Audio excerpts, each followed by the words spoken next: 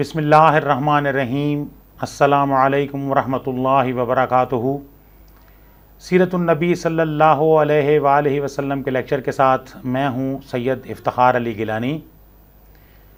जैसा कि आपको मालूम है कि पिछले लेक्चर में हमने सीरत नबी अलैहि वसल्लम से सीरतुलनबी अलैहि वसल्लम के मौजू पर बात की है और हमने सीरत नबी के जो दो अदवार हैं, वो मैंने आपको बताए थे कि मक्की दौर है, दूसरा मदनी दौर है।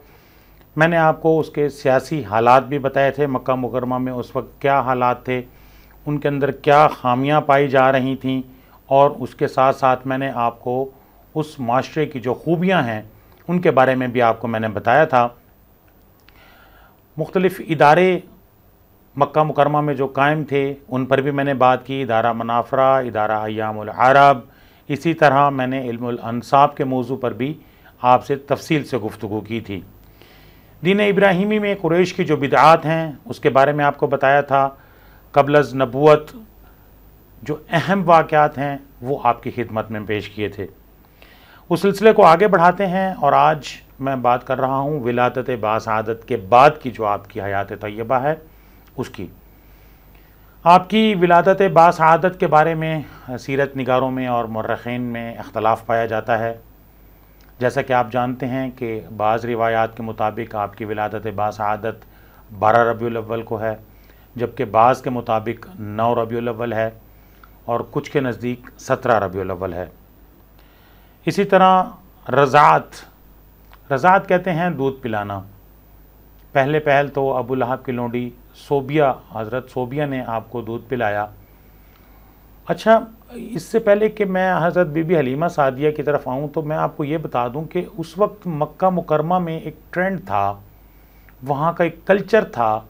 वो ये था कि देहात से ख़वातीन तशरीफ़ लाती थीं और मक्का मुकरमा एक शहरी आबादी, डॉक्टर हमीदुल्ला रहमत ने इस पर बात की है। और आपने ये दावा किया कि मक्का मुकरमा कोई देही इलाका नहीं था बल्कि एक शहरी इलाका था। तो वहाँ से देहात से जो ख़वातीन आती थीं, वो शहर से बच्चों को देहात लेके जाती थीं और उन्हें दूध पिलाती थीं और जब दो साल की रज़ात का पीरियड मुकम्मल होता था तो फिर उन्हें वापस शहर उनके वालदेन के सपुर्द करती थीं। अच्छा इसकी बहुत सी वजूहत हैं। ऐसा क्यों था? इस पर बेशुमार मटेरियल हमारे पास मौजूद है। काफ़ी लिखा सीरत निगारों ने तो मैं मुख्तसरा आपकी खिदमत में अर्ज़ कर दूँ कि एक तो ये है कि देहात में आज भी आप देखें, हमारा जो देहात है, हमारे देहात में ख़ुराक खालिश होती है, हमारे देहात में ज़बान खालिश होती है, चूँकि वहाँ कोई और ज़बान है शहर में तो हम भांत भांत की बोलियाँ बोलते हैं, कोई किस इलाके से होता है तो शहर में मुख्तलिफ़ इलाकों से लोग आके आबाद होते हैं तो उनकी मुख्तलिफ़ फिर ज़बानें होती हैं तो एक लहजा पुख्ता नहीं होता, पक्का लहजा नहीं होता। लेकिन आप देखें कि देहात में चूँकि वो किसी दूसरी ज़बान से मुतारफ़ नहीं होते हैं तो उनका एक तो लहजा, एक ठोस और ख़ालिस।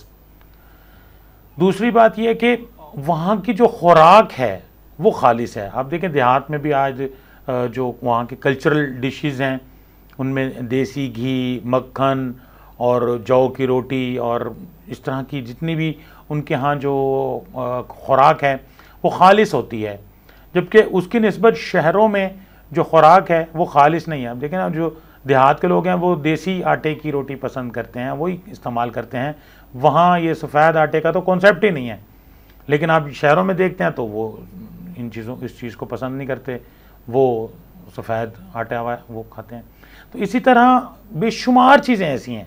यहाँ पे दूध भी खालिश नहीं मिलता शहर में, खुराक खालिश नहीं मिलती है तो जिसकी वजह से जो देहात का रहने वाला है, वो ज़रा ज़्यादा ताकतवर होता है, क्योंकि वो खालिश खुराक इस्तेमाल करता है।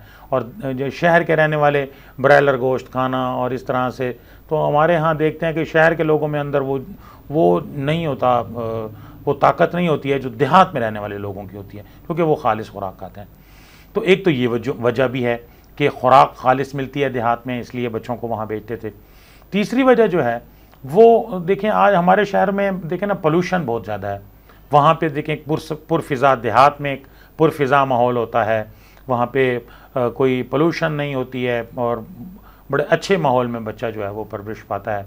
तो इसलिए अब वालदेन की ख्वाहिश ये होती है कि हमारा बच्चा एक अच्छे माहौल में परवान चढ़े। तो उसके लिए वो जो ख़वातीन हैं वो भी सेहतमंद होती थी और बच्चे को अपना जो ज़बान है, वो भी उनको अच्छी, उनको सिखाती थी और उनको खुराक भी अच्छी देती थी। तो बच्चे जो है ना, वो बेस बच्चों की मज़बूत हो जाती थी। तो ये इसी तनाजुर में नबी करीम सल्लल्लाहु अलैहि वसल्लम को भी इसकी बहुत सी तफसीलात हैं कि वो बहुत सी ख़वातीन आईं और उनमें से फिर हज़रत बीबी हलीमा सादिया के हिस्से में आप नबी करीम सल्लल्लाहु अलैहि वसल्लम आए। तो जैसे ही हज़रत बीबी हलीमा सादिया ने आप नबी करीम सल्लल्लाहु अलैहि वसल्लम को अपनी गोद में लिया तो उनकी तो जैसे काया ही पलट गई। हज़रत बीबी अलीमा सादिया के बारे में रिवायात आती है कि वो बहुत कमज़ोर थीं उनके घर भी हालात कुछ इतने ज़्यादा अच्छे नहीं थे ऊँटनी भी बहुत कम दूध देती थी और बकरियाँ भी लागर थीं तो घर में खुशहाली नहीं थी। तो जैसे ही उन्होंने नबी करीम सल्लल्लाहु अलैहि वसल्लम को अडॉप्ट किया तो हम देखते हैं कि उनके घर में खुशहाली आ जाती है। उनके घर में जनाब वो जो बकरियाँ कमज़ोर और लागर हैं वो बकरियाँ मोटी ताज़ी हो जाती हैं।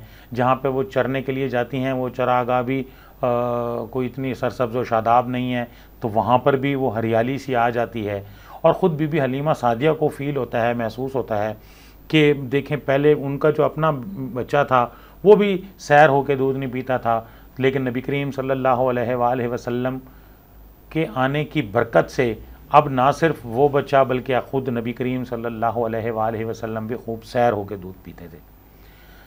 तो उनको ये पता चल गया कि ये जो बच्चा हमने हासिल किया है, ये कोई आम बच्चा नहीं है, ये बड़े शर्फ वाला बच्चा है। ये ये बच्चा जो है, इस बच्चे के आने से हमारे घर में बाहर आ गई है। इस बच्चे के आने से हमारी तो काया ही पलट गई है। इस बच्चे के आने से हमारे तो दिन ही फिर गए हैं। तो अब वो, उनको ये पता चल गया था कि इस बच्चे के अंदर कुछ है। तो इस वजह से वो आप नबी करीम सल्लल्लाहु अलैहि वसल्लम पर तवज्जो भी ज़्यादा देती थी और आपका ख्याल भी बहुत ज़्यादा रखती थी। और आप देखें कि वो जो चरागाह थी, वो भी सरसब्ज व शादाब हो गई। तो इस पर जो हमसाए हैं, वो तो देख रहे हैं ना कि पहले किस तरह थे और अब किस तरह हो गए हैं। तो वो फिर अपने चरवाहों को कहते बनुसाद की बकरियाँ जहाँ जाती हैं, वहाँ जाया करो। देखो, उनकी बकरियाँ मोटी हो गई हैं, हमारी बकरियाँ कमज़ोर हो गई हैं। तो अब ये ये तब्दीली महसूस हुई। अच्छा अब दो साल का पीरियड जब मुकम्मल हुआ तो बीबी हलीमा सादिया नबी करीम सल्लल्लाहु अलैहि वसल्लम को हज़रत बीबी आमना के पास लेके आई और उन्हें, अब वो देना नहीं चाह रही हैं। उनको पता है कि ये बड़े शर्फ वाला बच्चा है। इस बच्चे के आने से हमारे दिन फिर गए हैं। तो अब उन्होंने क्या कहा कि मैंने सुना है कि मक्का में कुछ वबा फैली है, बच्चे बीमार हो रहे हैं तो हम देखें आपके बेटे का बड़ा ख्याल करते हैं। तो अगर ये बच्चे को आप हमारे हवाले कर दें, कुछ अरसे के लिए मज़ीद हम इसकी परवरिश करें तो फिर ये मज़ीद ज़रा ताकतवर हो जाएगा तो फिर आपकी जब तक ये माहौल भी इधर मक्का का बेहतर हो जाएगा तो फिर आपकी खिदमत में ले आएँगे। तो ज़ाहिर है, वालदेन की ख्वाहिश यही होती है कि ज़ाहिर है कि बाकी, वाकई यहाँ पे ऐसा है तो। बीबी लीमा सादिया, जब आप नबी करीम सल्लल्लाहु अलैहि वसल्लम को अपने पास ले गई तो आपकी उम्र अभी तकरीबन चार पाँच साल ही है कि एक वाक़ पेश आता है, जिसे वाक़ शक के सदर के नाम से याद किया जाता है। वाक़ शक के सदर क्या है? सीरत की किताबों में इस वाक़े की तफसील मिलती है कि हज़रत जबरील तशरीफ़ लाए, आपने आपका सीना मुबारक चाक किया, उसमें से दिल को निकाला उसको आब जमज़म से धोया और फिर दिल को उसकी जगह पर रख के सिलाई कर दी। तो अब ये वाक़ जब हुआ तो बच्चों ने दौड़ के जाके बीबी अलीमा सादिया को बताया कि इस तरह सा को वाक़ हुआ है।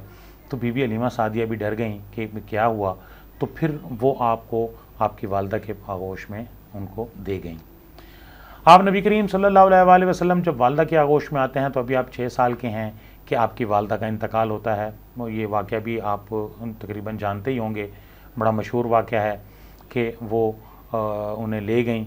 हज़रत अब्दुल्ला उनकी मज़ार मुबारक पे उनकी कब्र पे जाना जाना था। तो वहाँ पे गई हैं मदीना मुनवरा की तरफ़ गई हैं तो वापसी में अबवा के मकाम पे आपकी वालदा का इंतकाल हुआ और फिर आपकी कफ़ालत आपके दादा हज़रत अब्दुल मुतलिब ने की। हज़रत अब्दुल मुतलिब चूँकि बुज़ुर्ग आदमी थे, लेकिन ज़ाहिर है वो आप नबी करीम सल्लल्लाहु अलैहि वसल्लम से बेपनाह मोहब्बत करते थे। तो आपने उनकी, लेकिन आप तकरीबन आठ साल के हुए तो आपके दादा का भी इंतकाल हो गया। और अब आपकी कफ़ालत हज़रत अबू तालिब, जो आपके सगे चचा थे, उन्होंने फरमाई। यहाँ मैं एक बात करता चलूँ। हज़रत अबू तालिब वो शख्सियत हैं जिन्होंने सारी ज़िंदगी आप नबी करीम सल्लल्लाहु अलैहि का साथ दिया। जब तक हज़रत अबू तालिब ज़िंदा रहे, आम आदमी की ज़रूरत नहीं थी कि वो नबी करीम सल्लल्लाहु अलैहि वसल्लम के बारे में कोई बात भी करके देख ले।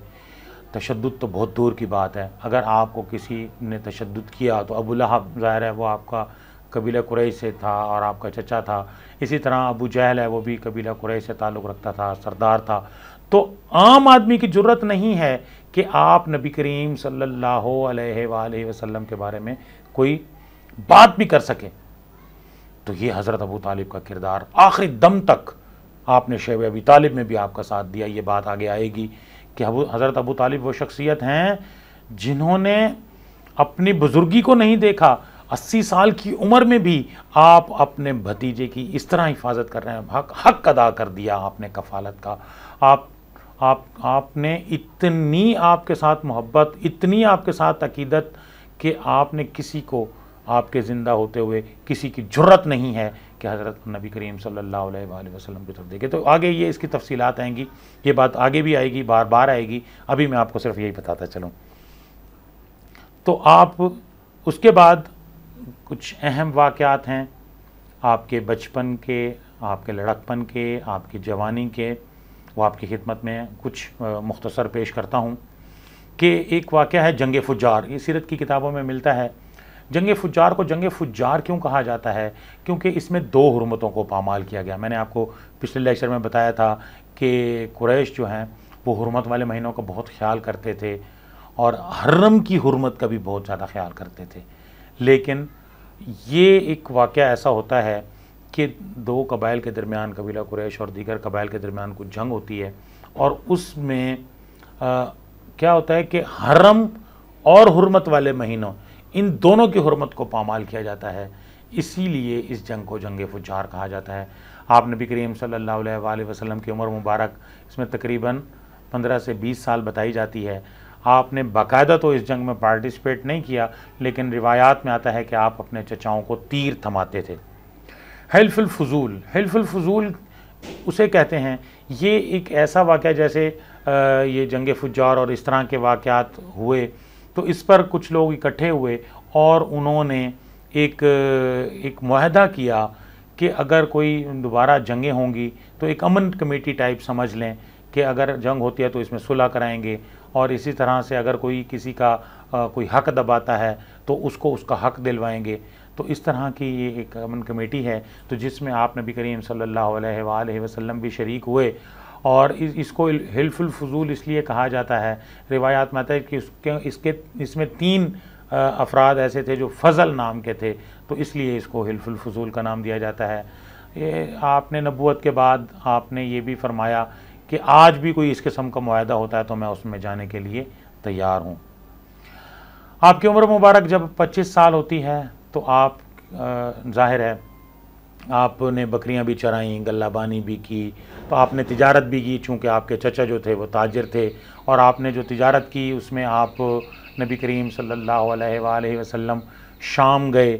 आप नबी करीम सल्लल्लाहु अलैहि वसल्लम आपने चचा हज़रत अबू तालिब के साथ भी तिजारत करते थे, और हज़रत बीबी खदीजा रज़ी अल्लाह तहा का सामान भी लेके आप तिजारत के घर से जब तशरीफ़ ले गए तो वहाँ पर भी आ, तो उनके ग़ुलाम ने आप हज़रत बीबी खदीजा को आप नबी करीम सल्लल्लाहु अलैहि वसल्लम के बारे में बताया कि ये बहुत नेक हैं। इनकी अमानत और दयानत और सदाकत के हवाले से जब बात की तो हज़रत बीबी खदीजा रज़ी अल्लाह तहा ने उन्हें निकाह का पैगाम भिजवाया जिसे आपने हज़रत अबू तालिब अपने चचा के मशवरे के बाद कबूल फरमाया और हज़रत अबू तालिब में अपना आपका निकाह पढ़ाया।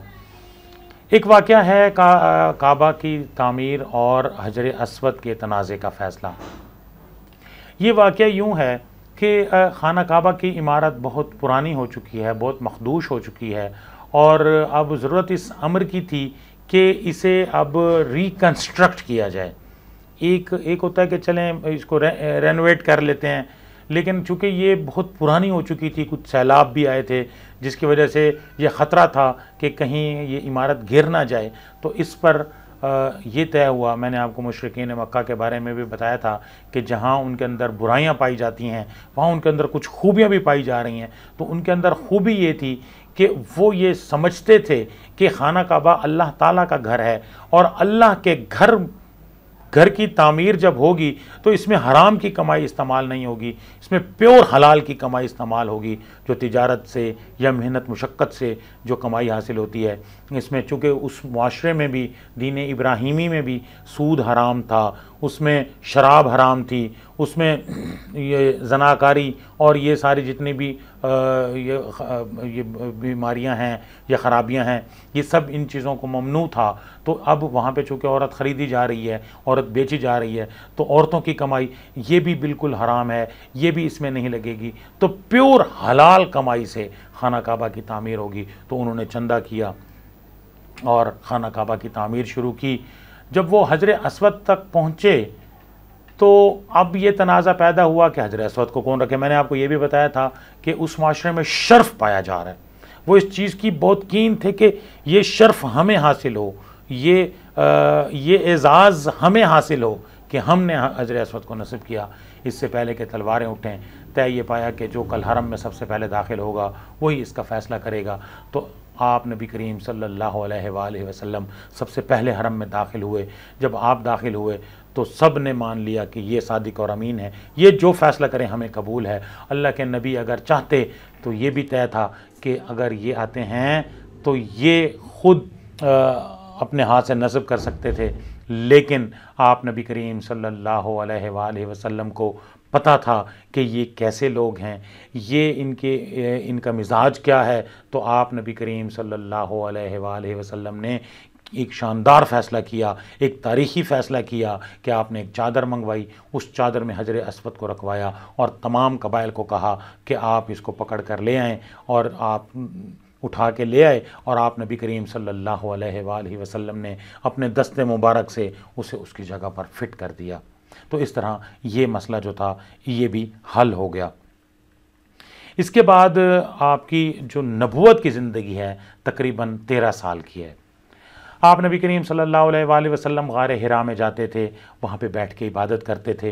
तो एक रोज़ ऐसा हुआ कि हज़रत जबरील अलैहिस्सलाम तशरीफ़ लाए और उन्होंने कहा, उन्होंने फरमाया, इकरा बे इसम रब कल्लाजी खलक। तो जब उन्होंने कहा, इकरा तो आप नबी करीम सल्लल्लाहु अलैहि वसल्लम ने जवाब दिया, माँ ना बेकारी, मैं पढ़ा हुआ नहीं हूँ। तो इस पर हज़रत जबरीसम ने दोबारा कहा कि आप पढ़िए इकरा। तो इकरा, पढ़। तो आपने फरमाया, माँ ना बेकारी, मैं पढ़ा हुआ नहीं हूँ। जब तीसरी बार कहा तो जब आपने ये जवाब दिया तो रिवायात में आता है कि हज़रत जबरील सलाम ने नबी करीम सल्लल्लाहु अलैहि वसल्लम को भींचा और इसके बाद आपने फिर पढ़ा, इकरा बेस में रब कल्लजी खलक खलक अल इंसान अमिन अलक और वो आयात जो हैं पहली, वो आयात को नज़ूल हुआ। अब ये वाक़ जब रूनुमा हुआ तो आप बड़े परेशान हैं। पहली दफ़ा एक ऐसा वाक़ पेश आया है तो आप घर गए हज़रत बीबी खदीजा रज़ी अल्लाह तहा से इस वाक़े का तस्करा किया। आप देखें कि हज़रत बीबी खदीजा रज़ी अल्लाह तहा का किरदार, आप कितनी अमीर तरीन ख़ातून और बड़ी समझदार ख़ातून आपने इस मामले को किस तरह टैकल फरमाया? आपने फरमाया कि परेशान, ना दो चीज़ें बड़ी अहम हैं। ये नहीं कहा कि जनाब, आपको कितनी दफ़ा मना किया है, वहाँ ना जाया करें, आप अकेली जगह पे जाके बैठ जाते हैं। और इस तरह की बात नहीं की है, बल्कि क्या कहा है? तसल्ली दी है। आप परेशान ना हो। अल्लाह आपको ज़ाया नहीं करेंगे। ये मैं एक मैसेज दे रहा हूँ। ये जो ख़वातीन हैं, उनके लिए अहम मैसेज है कि खावंद जब घर परेशान आता है तो हज़रत बीबी खदीजा रज़ी अल्लाह तह की सीरत से सबक सीखें। ये नहीं है कि वो एक पहले परेशान हाल आए और आप उसके लिए पहले परेशानियाँ लेके खड़ी हो जाएँ। कि जनाब ये हो गया और वो हो गया और लड़ाई झगड़े और इस तरह नहीं। बल्कि आपने क्या किरदार अदा किया? आपने उनको क्या कहा? आप परेशान ना हो। अल्लाह आपको ज़ाया नहीं करेंगे। आप तो सादिक और अमीन हैं। आप तो बड़े नेक हैं। आप तो दुखियारों के दुखों का मदावा करते हैं। आप दर्दमंदों के दर्द का मदावा करते हैं। आप तो बेवाओं और मस्किनों की खबरगिरी करते हैं। अल्लाह आपको ज़ाया नहीं करेंगे। आप परेशान ना हो। एक तो ये आपको तसली दी। दूसरा काम क्या है? रूहानी इलाज। आपने क्या फरमाया कि मैं आपको वर्क बिन नौफल के पास लेके जाऊँगी। वो बहुत तौरात और इंजील के आलिम हैं, वो मेरे कज़न हैं। उनसे पूछेंगे कि ये क्या माजरा है? और जब वर्का बिन नौफल के पास आप लेके गई, देखे ना, आप बड़े परेशानी के आलम में आए थे। जम्मिलूनी जम्मिलूनी के अल्फाज हैं। चादर उड़ा दीजिए, शदीद सर्दी में आप पसीने से शराबूर हो रहे हैं और आप परेशान हैं। लेकिन आप जब वर्का बिन नौफल के पास जाते हैं वर्का बिन नौफल क्या कहते हैं? वर्का बिन नौफल कहते हैं, मुझे तो लगता है ये वही नामूस है जो हज़रत मूसा के पास आया करता था। तो मेरे ख्याल में कि आप अल्लाह के नबी हैं और अगर मैं उस वक्त तक ज़िंदा रहा, जब आप अपनी नबूत का ऐलान फरमाएँगे तो मैं आपकी नबूत की तस्दीक करूँगा, आपका कलमा पढ़ूँगा और अगर मैं उस वक्त तक भी ज़िंदा रहा, जब आपकी कौम आपको यहाँ से निकाल देगी तो मैं उस वक्त भी आपकी नुसरत व तायद करूँगा।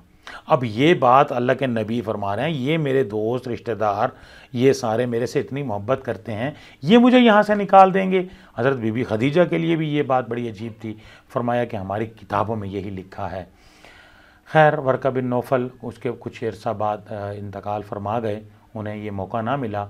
लेकिन आप नबी करीम सल्लल्लाहु अलैहि वसल्लम ने नबूत का ऐलान फरमाया, आपकी जो मक्की ज़िंदगी है, उसे हम तीन मराहल में तकसीम करते हैं। पहली है खुफिया तबलीग, ये तीन साल तक है। उसके बाद अहले मक्का में एलानिया तबलीग दस नबी तक। और उसके बाद दस नबी के बाद मक्का से बाहर तबलीग का हुक्म। देखिए हर नबी के लिए वक्त भी मखसूस है और इलाका भी मखसूस है। लेकिन नबी करीम सल्लल्लाहु अलैहि वसल्लम रहमत आलमीन है। आपके लिए न वक्त मखसूस है, न आपके लिए इलाका मखसूस है। आप क़्यामत तक अल्लाह के नबी हैं और ला नबी आबादी मेरे बाद कोई और नबी नहीं आएगा आपका कमा काल नबी अलैहि वसल्लम। और आपके लिए पूरी दुनिया, बल्कि पूरे आलमीन, तमाम जहानों के लिए आप रहमत बना के भेजे गए हैं। तो जब हम बात करते हैं खुफिया तबलीग की तो खुफिया तबलीग में आप देखते हैं कि ये आपने घर में बात की है, अपनी बीवी, हज़रत बीबी खदीजा रज़ी अल्लाह तह से आपने ज़िक्र किया, उन्होंने इस्लाम कबूल कर लिया। हज़रत अलीमरतज़ा रज़ी अल्लाह तन हो घर में हैं, नौजवान हैं, लड़के हैं, उन्होंने इस्लाम कबूल कर लिया। हज़रत जैद बिन हारसा हैं, घर के बच्चे हैं, मुँह बोले बेटे हैं उन्होंने इस्लाम कबूल कर लिया। इसी तरह इंतहाई करीबी दोस्त हैं, हज़रत अबू बकर सदीक रज़ी अल्लाह तहो उनसे बात की, उन्होंने इस्लाम कबूल कर लिया। हज़रत अबू बकर सदीक रज़ी अल्लाह तहों ने हज़रत उस्मान गनी रज़ी अल्लाह तहों से कहा, उन्होंने इस्लाम कबूल कर लिया।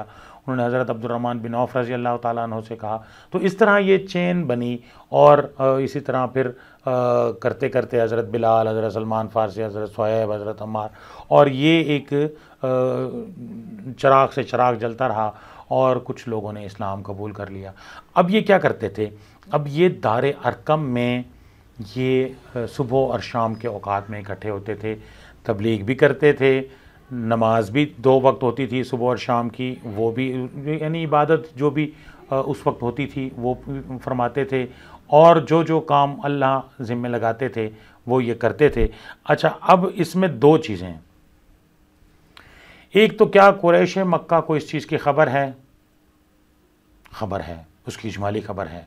देखें ना, अब कुछ लोग शाम को इकट्ठे होते हैं, बैठते हैं गुफ्तु करते हैं कि जनाब क्या बात करते हैं आप? तो ये सारी चीज़ें तो उनको ये इसकी सुनगुन हो रही है। हाँ जी, ये कुछ है। दूसरा, कार्रवाई क्या करते हैं या नहीं करते हैं? तो कार्रवाई कुरैश मक्का उस वक्त नहीं करते, इसकी दो वजूहत हैं। एक तो चूँकि खुफिया तबलीग है कि जनाब एलानिया तो नहीं हो रहा ना, खुल्लम खुल्ला तो कुछ नहीं हो रहा। तो चूँकि खुफिया तबलीग है, इसलिए खुफिया तबलीग में उस तरह से कार्रवाई नहीं है। सेकंड कि कार्रवाई करने वाले कौन हैं? अबू लहाब, अबू जहल। देखे ना, अबू लहाब भी आपके चचा हैं। इसी तरह जो अबू जहल है, वो भी कबीला कुरैश से है। तो ये जो करने वाले हैं कि जनाब और कि अच्छा वो हर चीज़ को लाइट ले रहे हैं। ये हमारा भतीजा है, हमारा नौजवान है, हमारे कबीले का है, बड़ा नेक आदमी है, मुत्तकी परहेजगार है, सादिक और अमीन है, एक बड़ी अच्छी रिप्यूट है। तो हम इसको समझा लेंगे। अच्छा इसके मानने वाले हज़रत बीबी खदीजा भी कोई आम खातून नहीं थी।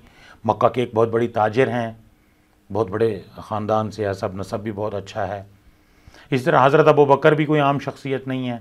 हज़रत अबू बकर भी मक्का के एक बड़े बड़े ख़ानदान से ताल्लुक़ है।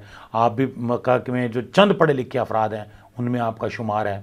और आप काजी हैं, जज हैं, फ़ैसले करते हैं तो आप भी कोई आम शख्सियत नहीं है। हज़रत अली अबू, हज़रत अबू तालिब के बेटे हैं, हज़रत अबू तालिब मक्का के सरदार हैं। तो ये जितने भी लोग हैं, और अब बाकी जो हज़रत अब्दुलरहमान बिन औफ, हज़रत उस्मान गनी बहुत बड़े ताजिर हैं वो भी कोई आम शख्सियात नहीं है।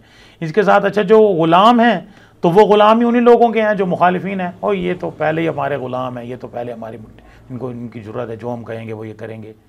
तो ये सारी चीज़ें जो हैं, ये, वो इसको बड़ा लाइट ले रहे हैं। लेकिन तीन साल बाद अब अल्लाह का हुक्म होता है मंजर अशीरत का लाकराबीन। क्या आप जाइए और अपने करीबी रिश्तेदारों को डराइए। अब जनाब दावत का ओपन मैदान अल्लाह तबारक वाली के हुक्म से खोला जा रहा है। तो अब आपका इसका तरीका कार क्या था? आपने कराबतदारों को तबलीग के लिए। देखिए ना, आज हम तबलीग करने के लिए निकलते हैं ना, हमारा तबलीग करने का अंदाज़ बड़ा डिफरेंट है। हम पहले तो अपने आप को कोई सुपीरियर चीज़ मान लेते हैं कि मैं बड़ा मुत्तकी परहेजगार, बड़ा नेक और ये वो, और आप ऐसे हैं, आप वैसे हैं और आप वैसे हैं तो तुम भी ऐसे हो जाओ। नहीं, तरीका है। आपने कैसे दावत दी? लेकिन हमें सीरत से सबक मिलेगा। हमने तबलीग किस तरह से करनी है?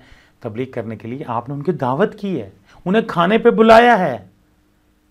लेकिन अबू लहब को चूँकि पता था कि ये क्या बात करने है तो अबू लहब ने बात नहीं करने दी। उसके बाद फिर जब ओपन ओपन तबलीग का हुक्म हुआ, आप कोहे सफ़ा पे गए। आपने कोहे सफ़ा पे चढ़ के क्या कहा कि मैं अगर आपसे ये कहूँ कि एक फ़ौज है जो इधर से आ रही है और आप पर हमला कर देगी। तो क्या आप मेरी बात को मानेंगे?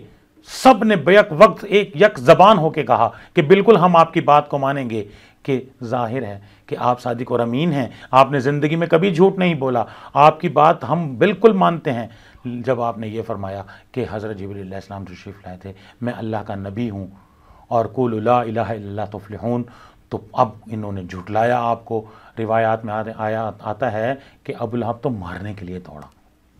तो अब मुशरकिन का जो रद्द अमल है, अब इसमें हज़रत अबू तालिब के, आपको पता है कि सरदार हैं। तो इनकी खिदमत में ये पेश होते हैं, ये सारे। कि जनाब अपने भतीजों को समझाएँ, ये इस तरह की। चूँकि कोई कार्रवाई करने से पहले हज़रत अबू तालिब एक बहुत बड़ी, एक बहुत बड़ी ताकत हैं। नबी करीम सल्लल्लाहु अलैहि वसल्लम के लिए कि कुरैश मक्का हज़रत अबू तालिब की मर्ज़ी के बगैर हज़रत नबी करीम सल्लल्लाहु अलैहि वसल्लम को कोई तकलीफ़ नहीं पहुँचा सकते, क्योंकि आप मक्का के सरदार हैं, खाना काबा के मुतवली हैं। तो हज़रत अबू तालिब ने कहा, ख़बरदार, मेरे बेटे की तरफ़ किसी ने आँख उठा कर भी देखा था। बिल्कुल बड़ा स्नब किया और बड़ी सख्ती के साथ खबरदार किसी ने मेरे बेटे को कुछ कहा। तो यहाँ पे, यहाँ से आप देखते हैं। अच्छा अब हजाज कराम को रोकने के लिए कि जनाब ये हज के मौके पे तो आप नबी करीम सल्लल्लाहु अलैहि वसल्लम बहुत ज़्यादा एक्टिव हो जाते हैं। तो अब हज के मौके पे इनको किसी तरह से रोकें। तो ये कुरान में भी ये वाक़ है इसका ज़िक्र अल्लाह ने भी किया है। मुख्तसर बता देता हूँ, वक्त ख़त्म होने वाला है। तो अब इन्होंने तय किया कि जो भी आएगा ना, तफसीलात में मैं नहीं जा रहा हूँ मुख्तसरा बता रहा हूँ।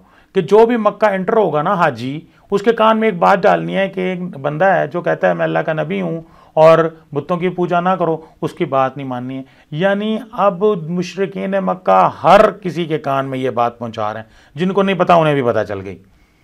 और यही वाक़ जो है, ये हज़रत मदीना की बुनियाद बनता है। यह आगे चल के मैं इस मौजू पर बात करूँगा। तो इसके बाद क्या है? अब महाजराई के अंदाज क्या हैं? आप पर हँसी, ठट्ठा तकजीब आप इस्तेजा आपकी तालीमत को मसक करना, उसमें शकूक को शुबहात पैदा करना, वाहयात किस्म के एतराज़ात और इसी तरह बादशाहों के किस्से सुनाना, लोंडियाँ मुसलत करना और इस तरह के और फिर क्या हुआ? फिर जुल्म और सितम शुरू कर दिया। तो ये ये चीज़ें और जुल्म की इंतहा कर दी। हज़रत बिलाल को तपती रेत पर लिटाया जा रहा है, सीने के ऊपर गर्म पत्थर रखा जा रहा है। आपको अंगारों से दागा जा रहा है। रिवायात में आता है कि ज़ख्मों के ऊपर अंगारे रखते हैं, जो जो, जिस ज़ख्म पर खून और पीप से बुझ जाते हैं। आल यासिर पर जुल्म और सितम की इंतहा की गई। पहली शहीदा हज़रत सुमैया रज़ी अल्लाह तहा जिसे अबू जहल ने बर्छी मारकर उन्हें शहीद कर दिया।